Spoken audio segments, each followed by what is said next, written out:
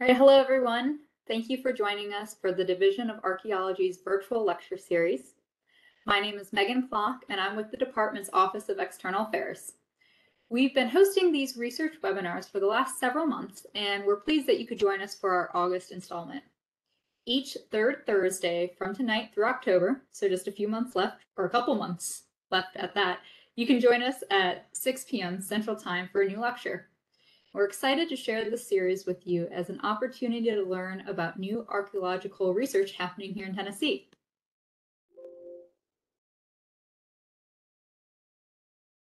For those who have joined us in previous lectures, you can probably anticipate the next thing I'm going to share, just some minor housekeeping.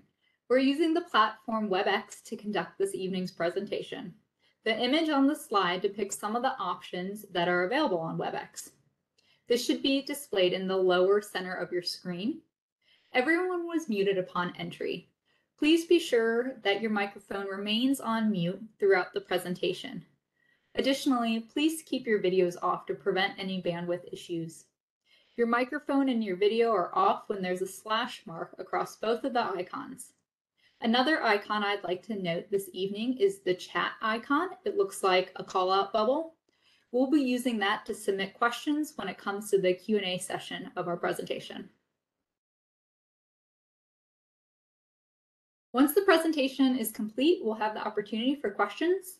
You can ask a present, uh, excuse, you can ask a question during the presentation, um, but we ask that you remain on mute and we will answer any questions at the conclusion of the presentation.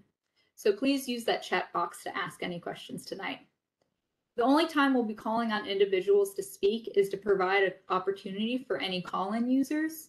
If you've called into the meeting tonight, we'll allow you to unmute during the question session.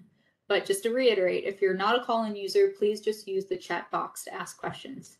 You can use the chat box to ask questions during the presentation, but we'll wait to answer them at the conclusion. Alrighty, great. I'm gonna go ahead and we're going to get to the exciting part of the presentation. I'm going to pass things over to our state archaeologist, Phil Hodge, to introduce tonight's speaker. All right, Phil?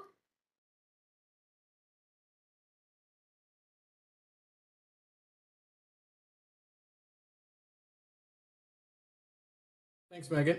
Um, good evening, everyone. Thank you for joining us. It's my pleasure to welcome you to the fifth installment in our third Thursday virtual lecture series. We established this series as a way for archaeologists working in the state to share their research um, after having to cancel our traditional in-person conference for two years in a row. We also hope this series serves to build momentum toward resuming our regular in-person conference in January of 2023. Um, before I introduce tonight's speaker, I always like to thank everyone who make these lectures possible. Um, I'll start with Megan Flock from TDEC's Office of External Affairs. Megan handles all of the technical details, manages meeting links and serves as our event host, and she'll also moderate the Q&A later in the presentation. Also want to thank Mike Morrow with TDEC's Office of Communications, as well as Aaron Deter-Wolf and Macy Orand within the Division of Archaeology. Aaron and Macy work with Megan and Mike to organize and publicize each event and to also coordinate with our great speakers. It's my pleasure to now introduce our speaker tonight, Ms. Lauren Walls. Ms. Walls is an archaeologist with New South Associates, which is a woman-owned full-services cultural resources firm based in Stone Mountain, Georgia. Ms. Walls is a manager of New South's Tennessee branch office, which is here in Nashville. She has directed numerous archaeological survey and excavation projects and conducted National Register of Historic Places evaluations for a variety of federal, state, and local governments, private sector clients, and individuals. Ms. Walls earned her Master of Arts in Anthropology from the University of West Florida. She is a registered professional archaeologist with expertise in historic period and pre-contact sites and specializes in the analysis of faunal and floral remains from pre-contact archaeological sites. Ms. Walls will be the lead presenter tonight uh, for this presentation, but there are two other co-authors who I also want to recognize, Mr. Danny Gregory and Ms. Velma Fan both of whom are also with New South and co-authored the report on the Crabtree Farmstead with Ms. Walls. You can visit New South's website to learn more about Mr. Gregory and Ms. Fan and their professional biographies. I'm especially excited about Lauren's talk tonight. Um, for those of you who might not know, before I became the state archaeologist, I managed TDOT's archaeology office, and the Crabtree Project was discovered on a TDOT project. Um, that project was just getting underway when I transferred to the Division of Archaeology. Um, at that time, we'd only recently realized um, what the Crabtree Farmstead uh, was and its historic significance and importance. So I'm really excited to see how this project turned out um, over the last two years. So before I hand the virtual floor off to Lauren, let me once again remind everyone uh, viewing tonight to keep your audio muted and your video off throughout the talk. This helps to preserve bandwidth and prevent distractions during the presentation. So with that, uh, Lauren, thank you for joining us tonight and thank you for sharing this pro project with us. Um, I will mute myself and turn the virtual floor over to you. So feel free to share your screen whenever you're ready.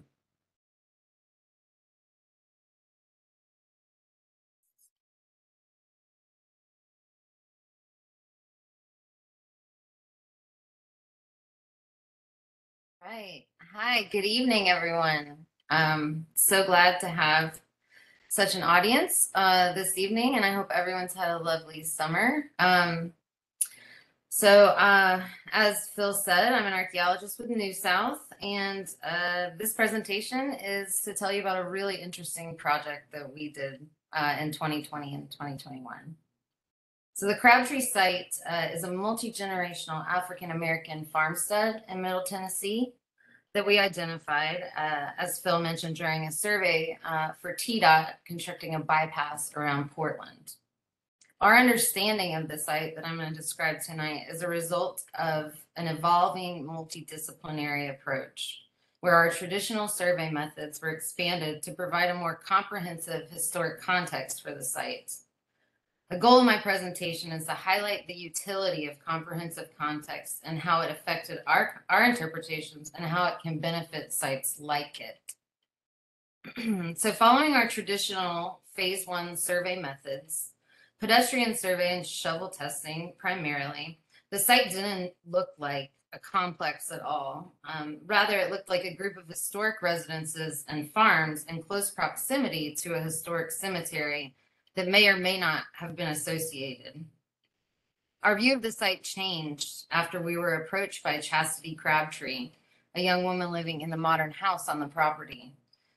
And uh, as an aside, the story of how she scared me in a cemetery at 7 a.m. in the morning is quite funny. she told us that these farms and residences represent the history of her family. Her father grew up in one, her grandmother in another, Earlier generations of her ancestors occupied other sections of the site. The story passed down to her was that this property had been in her family since the mid 19th century, occupied by successive generations from emancipation to the present. Our approach to this site went beyond the normal overlap between history and archaeology. Following a tour of the site with TDOT and members of the Crabtree family, we expanded the original survey effort. TDOT and our client Kimley Horn were very cooperative and worked with us to conduct the additional research needed to really understand the site. So we expanded the phase one into what happens and many times in Tennessee to a quasi phase two or phase 1A, an evaluation. On the archaeology side, we supplemented the field work with GPR surveys of the cemetery and farmsteads, intensive metal detection, vegetation clearing, sample collections from the historic dumps, and test unit excavation. On the history side, we conducted oral interviews of the Crabtree family members and expanded our traditional archival research to focus on the site and the history of the region surrounding it. New South historian Velma Fan, my co-author, um, and myself both interviewed three members of the Crabtree family, Chastity Crabtree, her father Clarence, and her uncle Matthew.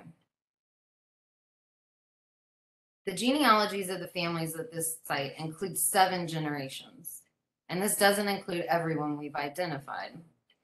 Little is known about the earlier 19th century generations aside from their names at this point, but given the time scale, William Barnes, was likely enslaved on the lands of Thomas Bunton.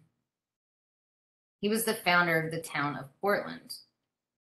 Chastity's great grandmother, Amanda West, married Arthur Bunton in 1910 and had four children.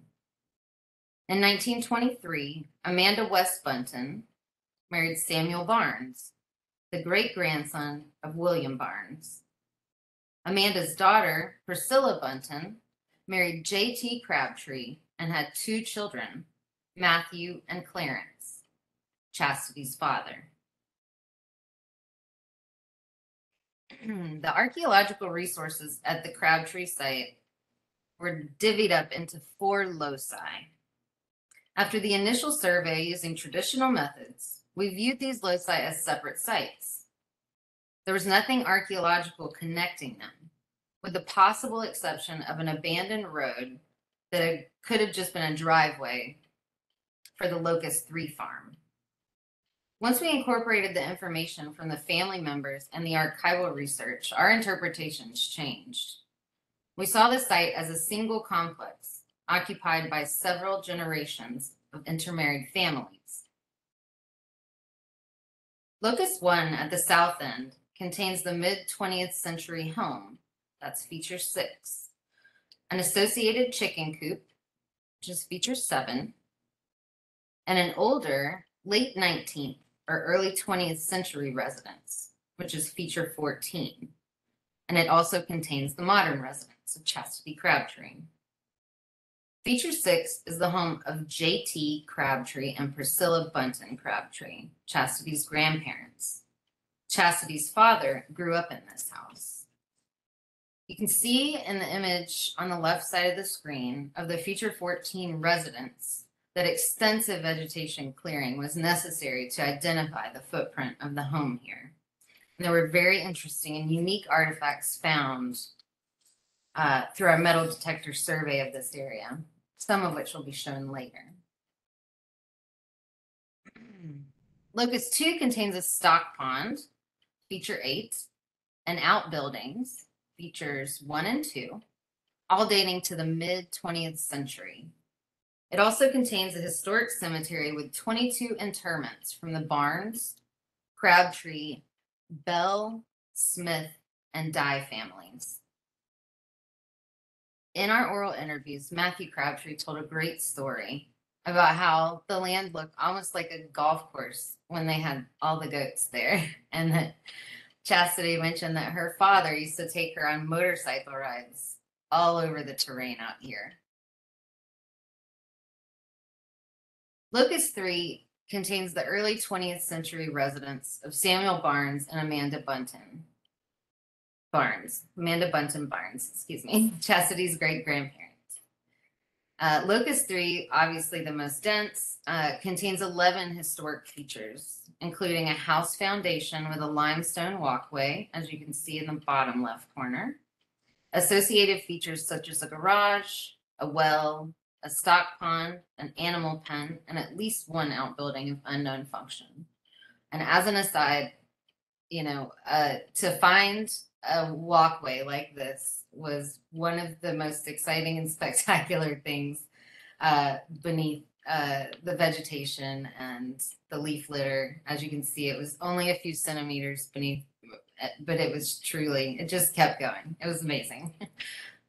All right. Um, Locus Four is uh, the to the to the northeast uh, northwest rather the as you would furthest away. Uh, it contains uh, two refuse dumps related to the mid 20th century occupations, and I know it just looks like trash in the woods, but I tell you there were some really amazing things in there. So we did sample collections in that location. Okay, so Combining the archaeological results with the geophysical data, archival research, and oral history, we produced a site-specific occupational history for this complex. Based on the assemblage, the earliest residence or farm within the complex is feature 14 within locus 1. None of the Crabtree family remember this house, which was found in thick woods. They remember being filled with goats. That was the first one I pointed out. This house likely dates to the 19th century, and existing information suggests it was occupied by members of the Barnes family, possibly Chastity's great grandparents, John and Rhodey Barnes. The next oldest farm is in Locus 3, the home of Amanda West Bunton Barnes, Chastity's great grandmother. This farm may date to as early as 1877, when the Barnes family owned the property. Amanda lived there after her marriage to Samuel Barnes in 1923. This farm was destroyed by fire in the 1960s. Amanda's daughter, Priscilla, grew up in the house in Locus 3 and occupied the mid 20th century house in Locus 1 as an adult with her husband, J.T. Crabtree, and their two sons. Locus 2 also contains the Barnes Cemetery. In addition to known relatives, the Crabtree family believed that enslaved and indigenous persons were also buried here. As a result of our survey, we found many unmarked burials and had uh, field stones just covered in leaf litter and vines. So great success thanks to Chastity. Okay. Um, according to the Crabtrees, this farmstead complex has been in the family since emancipation. They noted that 12 former enslaved persons received 40 acres each from the Bunton family. They indicated that the property was passed down through the matrilineal line, beginning with Amanda Barnes. They believe that Amanda was once enslaved on the Bunton property. However, given that Amanda was born sometime around 1894, that doesn't seem likely. The family lore may have actually been referring to an earlier individual, possibly Amanda Bunton, who was born in 1841. She was the mother of Amanda, she was the mother of Amanda West Bunton's first husband, Arthur, and Chastity's great great grandmother. The family believed that Amanda West Bunton inherited the land from her first husband, Arthur Bunton. However, deed records show that she purchased the land in 1912 while married to Arthur. Amanda did inherit land within the site from her second husband, Samuel Barnes. The Barnes family had owned the land since at least 1877 and possibly earlier, though we haven't been able to confirm that yet.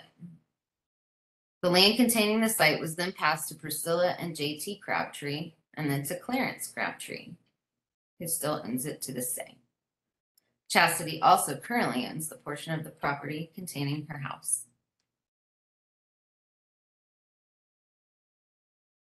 So, our research allowed us to evaluate the Crabtree site within a comprehensive historic context that included regional, local, and even site specific themes.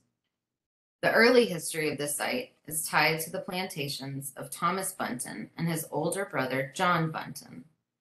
Many African American families in the area, including the Crabtree, Barnes, and Bunton families, are believed to be descended from the enslaved individuals, individuals living on Thomas and John Bunton's former lands.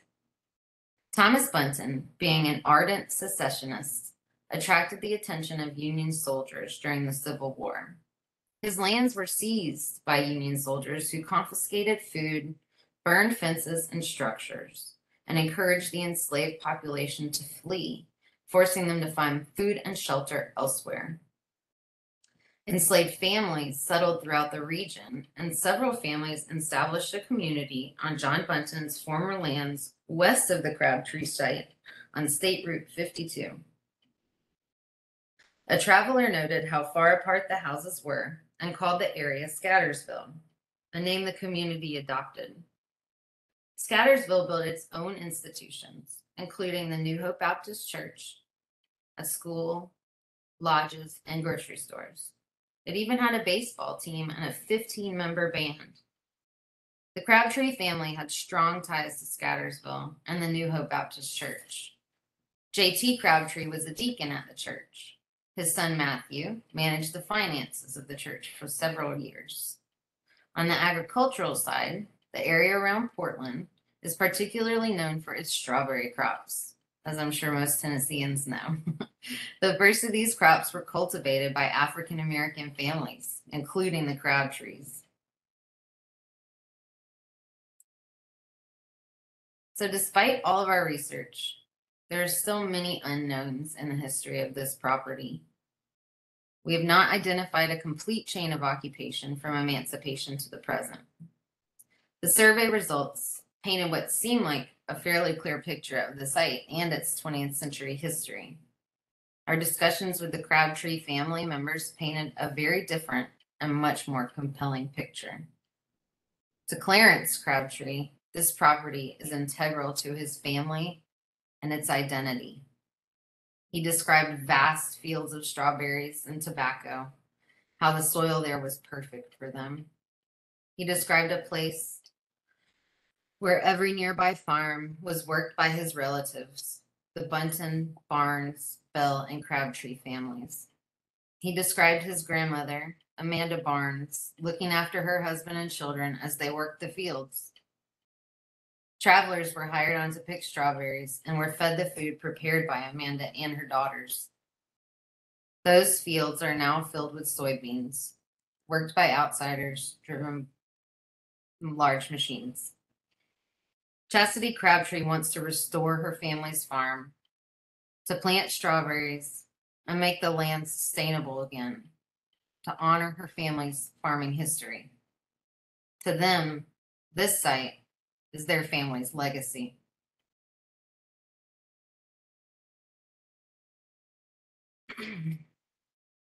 we all know that field work and archival research can each only give us a piece of the story for a site like this. People's memories of the site and its residents can give us another piece. It can be difficult to merge these perspectives, which can both be complementary and contradictory.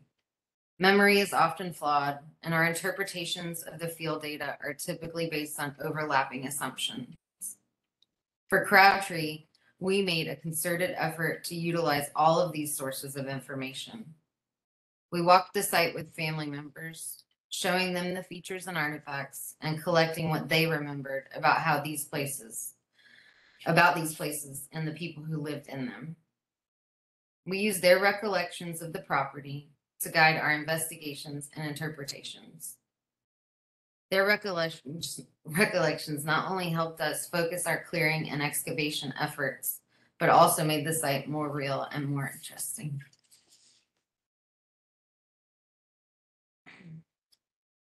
New tools and technology are so often the markers of progress in archaeology. New tools can be useful, but we should be careful not to forget traditional methods. New tools are sometimes not the best way to understand a site, especially when used in isolation. Obviously, this exact approach doesn't work on all sites. We're lucky in connecting with the Crabtree family, lucky for their interest in the site's history and for their willingness to share it with us.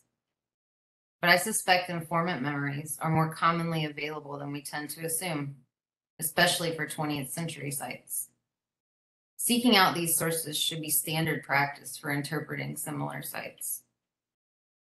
Our work on the Crabtree site demonstrates how a multidisciplinary approach can be tailored to the resource and can provide a much more comprehensive context, a more complete understanding of what the site really is. So I'm going to mention a story my coworker, co co-author and coworker relayed to me. Uh, he was asked to apply these lessons to a site from a North Carolina transportation project. We'll keep this vague to avoid criticizing or second guessing another researcher, but they sent him a data recovery report for a historic house site similar in age to the Crabtree site and also occupied by an African American family. The excavation focused on a 20th century house, and there were family members that remembered the house prior to its destruction. The family visited the site and provided a lot of information on its history. However, with many, as with many projects, the data recovery work focused solely on the archaeology. Informant memory came too late, after the data recovery plan was written and being executed. This led to an interpretation of the site and its features that was incomplete and possibly even inaccurate. More importantly, the report resulting from that work does not incorporate the family's perspective. Instead, it reads like a clinical inventory of historic features and artifacts. Following the completion of the project, that report is the only record of the now destroyed house site, the only record of a family's history and their place in the history of the region.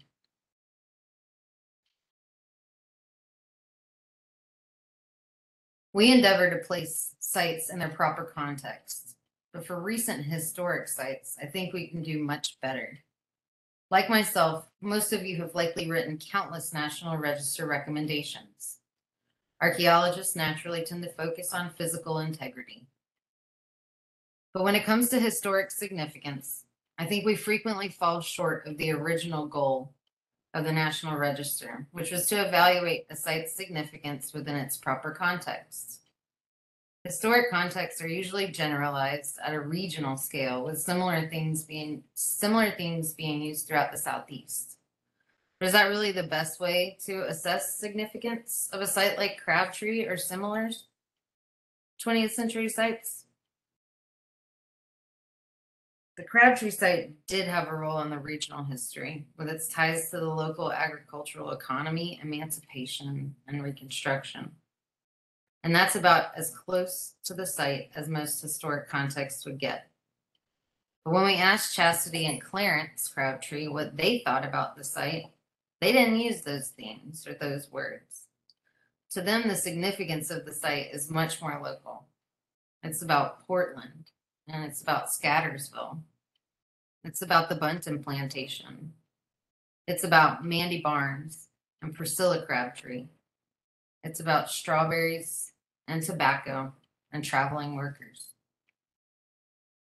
That facet of the site's context is just as important as any generalized regional theme. And at least to me and my coworkers, it's much more interesting. I want to highlight one last benefit of producing a more comprehensive context. And this is one that we didn't expect. Mitigation will likely occur at the Crabtree site. Because of what we learned about the site, we have so many more options for mitigation beyond data recovery excavation. Some degree of data recovery excavation will likely be conducted. And there are plenty of gaps in the site's history that may be filled but public outreach will hopefully play a major role in the mitigation. In addition to educational materials for local schools and the public, we've also proposed doing community events. For example, we thought of hosting a barbecue at the New Hope Baptist Church, having historians and archaeologists talk to local residents and share what we've learned. And perhaps more importantly, through those conversations, we could collect their memories of the Crabtree property the family, and the community. Obviously, producing a comprehensive historic context is not a new idea, and this presentation is not meant to be a condemnation of past work. The Crabtree site is instead presented as an example of the benefits of producing a comprehensive context and how that context allowed us to preserve a richer and more accurate story of this site and the people who live there. Thanks to TDOA, um, Phil and Aaron um, for allowing me to share our experience with this. And uh, I guess I'm going to hand it over for questions. Thanks, Lauren. It's a great presentation, a great project, and a really powerful story um, that comes through in the complementary approach that New South and TDOT took to understand and learn about the Crabtree family and their farm um, in the context of Scattersville and Portland.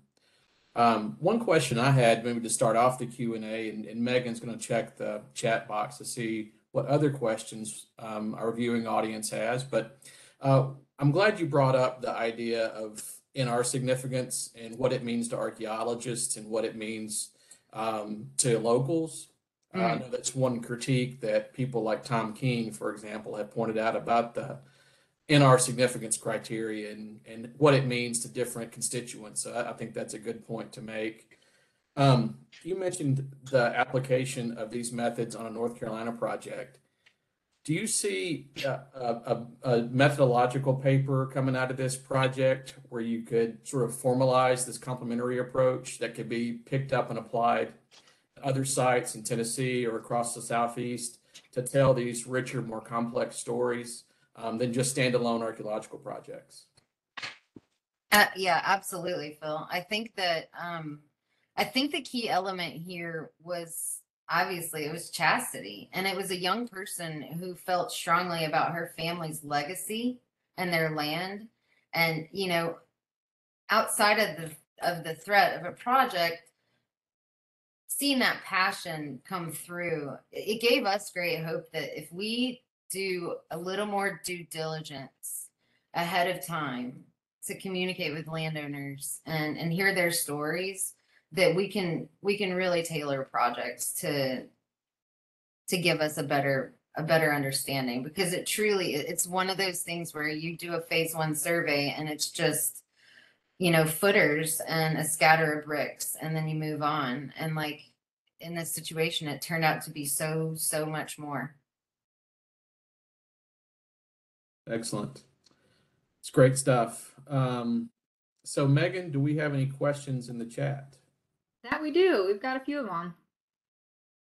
So one of the questions that we received in the chat box is what remote sensing techniques did you use and were they effective given the underbrush? So we used GPR um, and we had a, a team come out and clear and just enough underbrush to to do the GPR in the places where we thought there would be potential for buried features. So it was a challenge because you saw how densely vegetated some of those areas were. But our GPR teams are used to being thrown into the thickest stuff ever. So they were able to uh, they were able to get in there and get some idea of where we could target things. But truly, it was it was 50-50 when it came to you know feature 14 was different because it was the thickest and none of the crabtree family re- living family remembered that residence but there were there was a, a good amount of guidance that came from the family that said I, I kind of remember it was right over here and we had some standing elements that gave us you know we have the abandoned roadbed we have an, a collapsing animal pen you know so it was definitely it was still 50 50 All right. Another question is the site was discovered during the Section 106 survey. What was the ultimate recommenda- recommendation and decision made in terms of NRHP eligibility?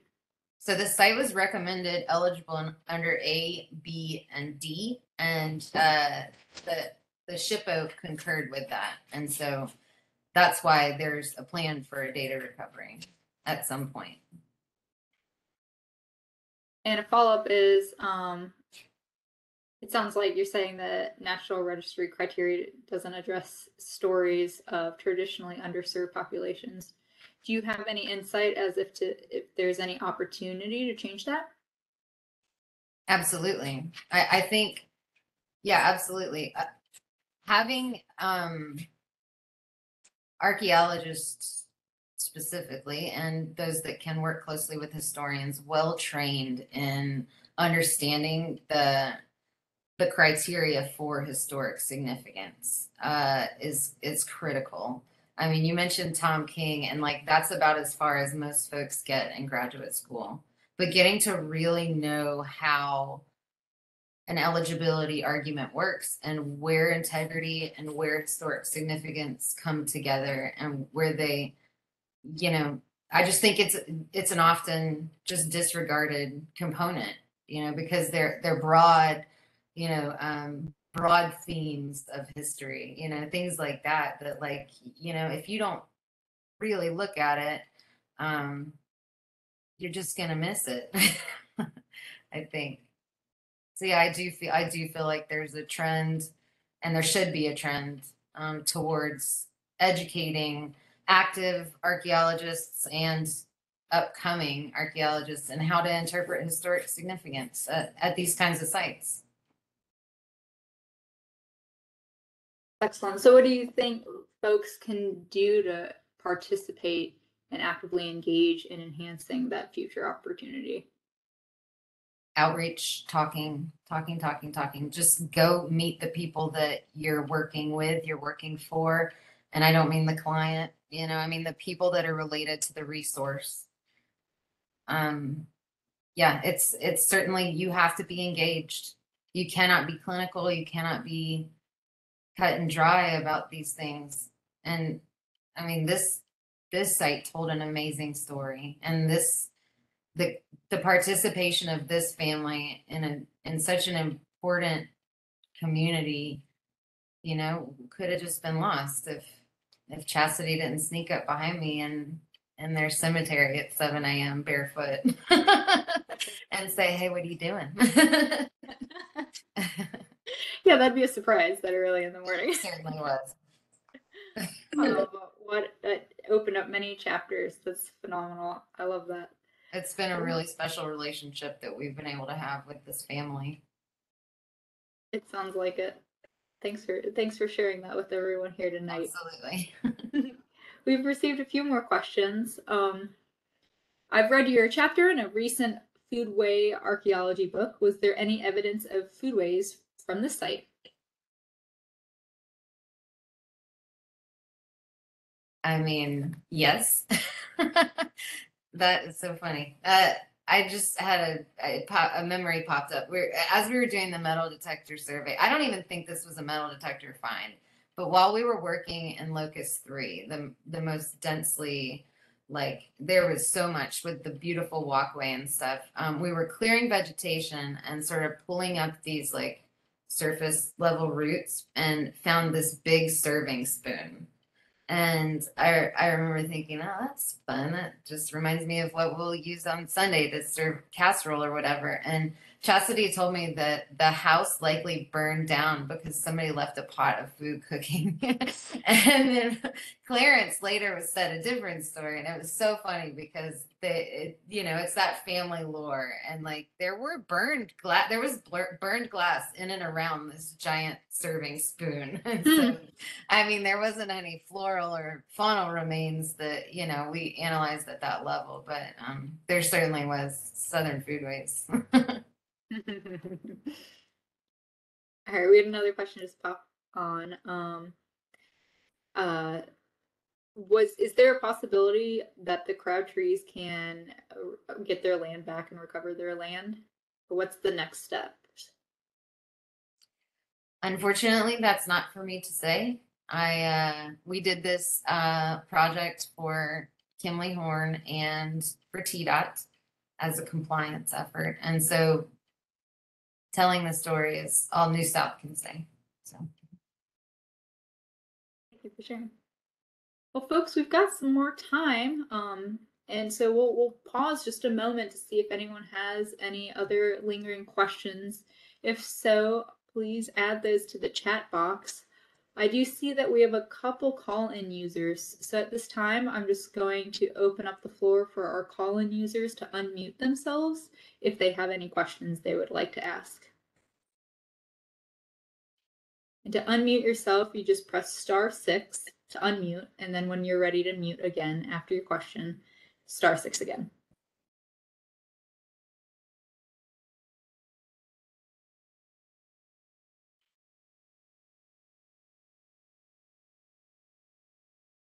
Right, any call-in users?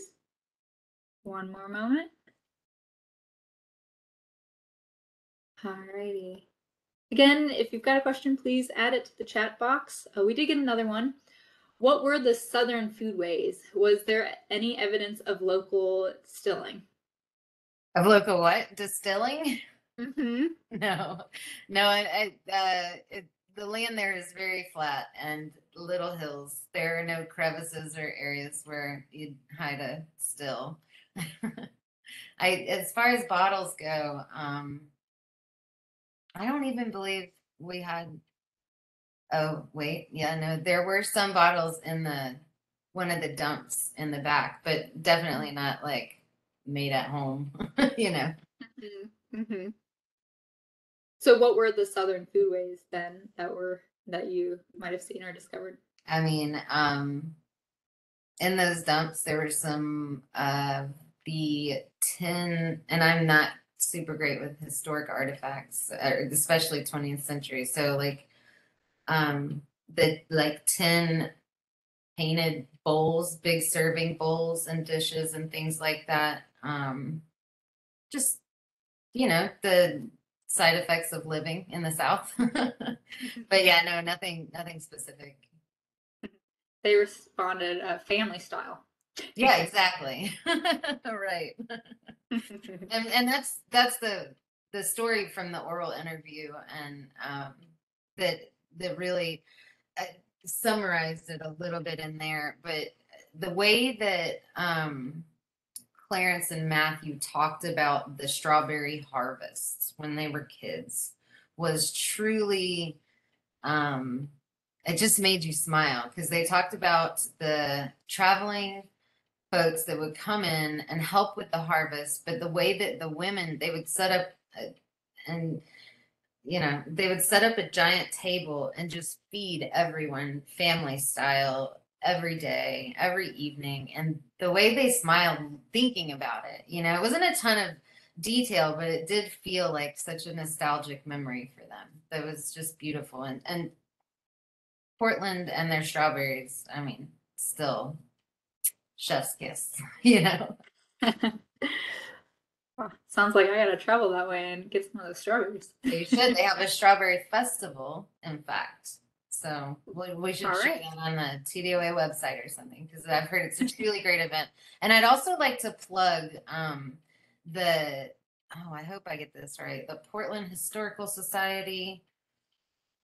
That's probably not right. I should have got this beforehand, but um, Chastity has been working really hard to incorporate the findings from her farmstead into the local history museum.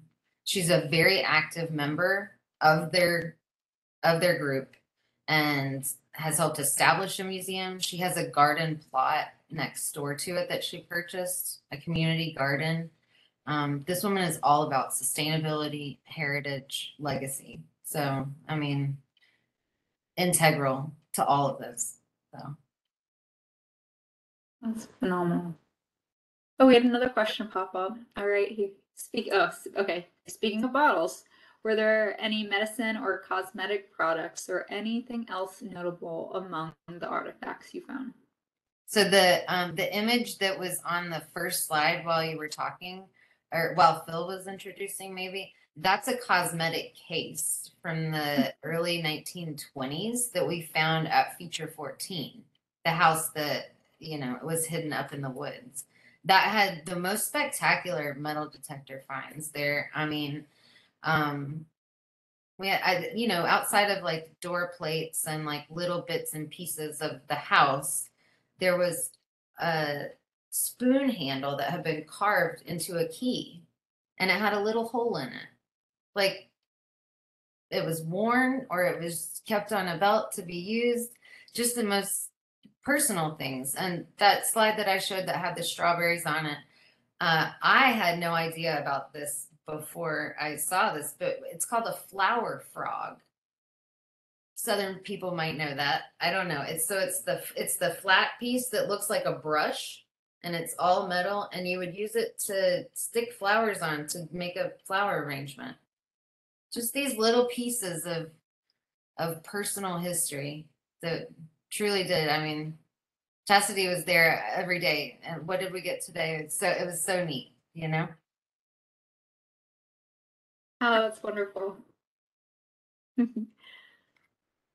Thank you so much for sharing. It's really a beautiful story. All right. And um, folks, generally, if you've got any more questions after we sign off, please feel free to um, send those to us. And I'm about to paste um, Phil and my email here in the chat box so you have that.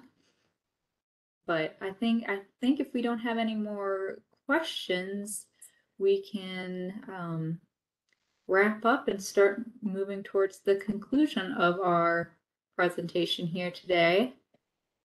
And I'm going to share this last slide here. And that also has Phil and um, my email. And Phil, before I, I sign us off, do you have any uh, last words? Uh, just to thank Lauren, uh, Danny, and Velma um, for sharing this project with us. I'm looking forward to the report and and more than that, maybe seeing some alternative mitigation products and the standard archaeology report.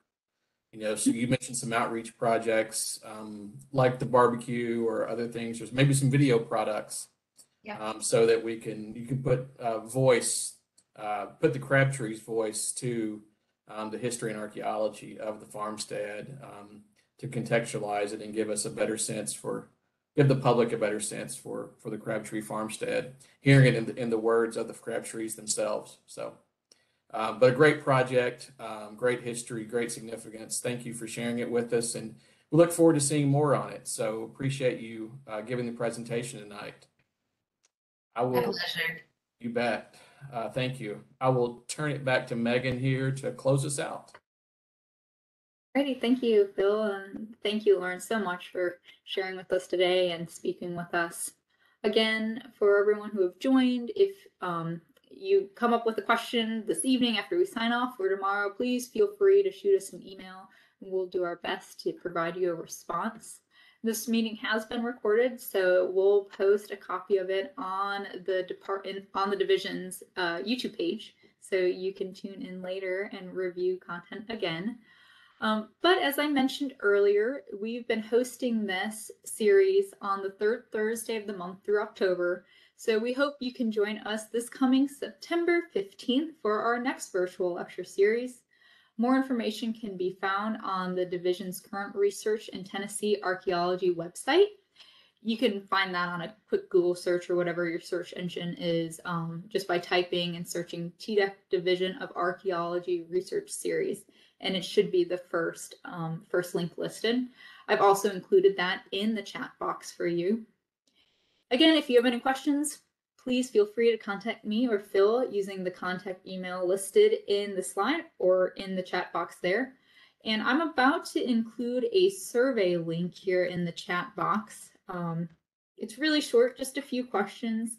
We would appreciate it if you would uh, go to that survey, navigate to that survey, and um, provide um, a response to those questions. We really appreciate any feedback, um, any insights to help us continue to improve these virtual events. And again, thank you for everyone for joining us tonight, and we hope to see you on September 15th. Thank you so much. Thank you again, Lauren. Thanks, y'all. Good night. Good evening.